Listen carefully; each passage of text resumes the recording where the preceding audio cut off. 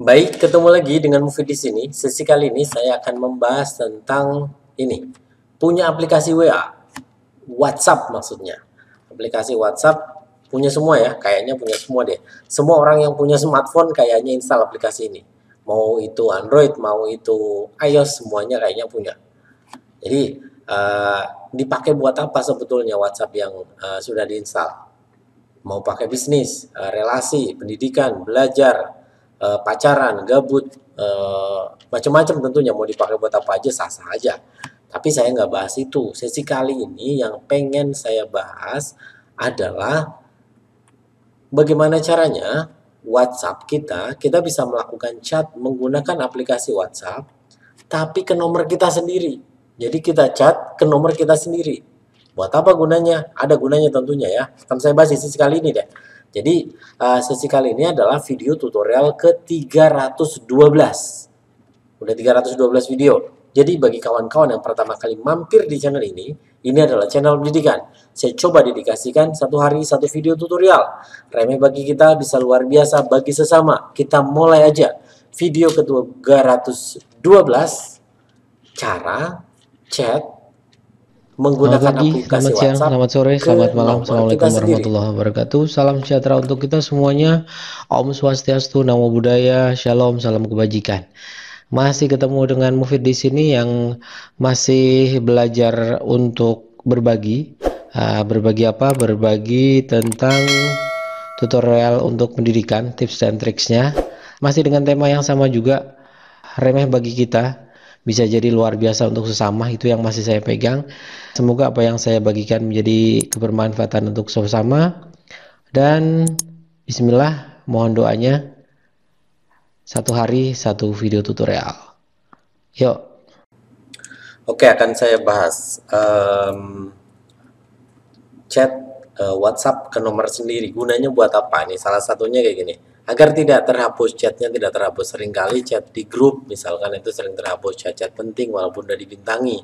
Atau mungkin ada foto atau dokumen yang bisa tersimpan dengan baik karena kita ngechat di handphone kita sendiri. Atau mungkin lagi gabut lagi bete chatnya ke nomor sendiri itu juga bisa.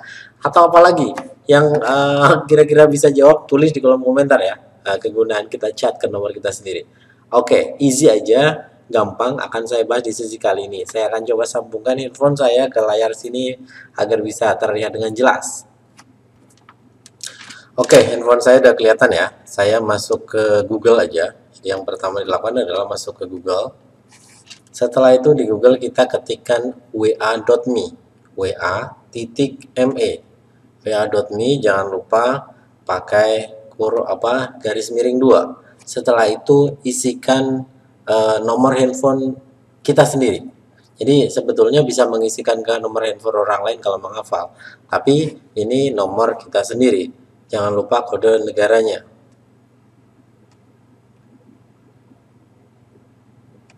Kalau udah tinggal klik cari.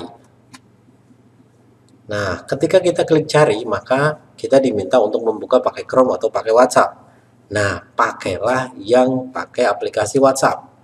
Sehingga di dalam aplikasi WhatsApp ini kita mendapati uh, kita akan chat ke nomor kita sendiri. Di situ tertulis online ketika saya nulis cek misalkan maka langsung terkirim dan warnanya biru. Itu sedang chat ke nomor kita sendiri. Misalkan kita mau copy, mau apa namanya, copy foto dan sebagainya itu akan jauh lebih aman karena uh, apa namanya uh, file itu bisa ter simpan di handphone kita sendiri. Misalkan ada chat dari grup, tinggal di forward aja, di forward ke nomor itu kita itu sendiri. Misal yang saya lakukan, misalkan ada eh, apa ya ini, ada file ini misalkan ada file foto, di mana file foto ini tinggal saya forward aja, forwardnya ke siapa? Forwardnya ke nomor kita sendiri. Oke. Okay isi. Jadi sangat mudah sehingga file ini sudah langsung tersimpan di handphone kita. Atau biasanya ada orang share di grup uh, share file ketika kita mau cari lagi file tersebut tidak bisa kita ambil. Kenapa? Orang tersebut sudah mendelete file tersebut, clear chat misalkan. Maka kita nggak bisa unduh lagi. Ini bisa kita pakai sebagai arsip kita. Atau kalau memang ada yang gabut tadi ya udah silahkan bisa chat ke nomor kita sendiri. Pura-puranya lagi ke chat sibuk tapi ternyata kita chat dengan nomor kita sendiri. Gitu ya caranya simple uh, silahkan bisa dipraktekkan aja. Yang berhasil tulis di kolom komentar. Yang gak berhasil tulis juga boleh di kolom komentar.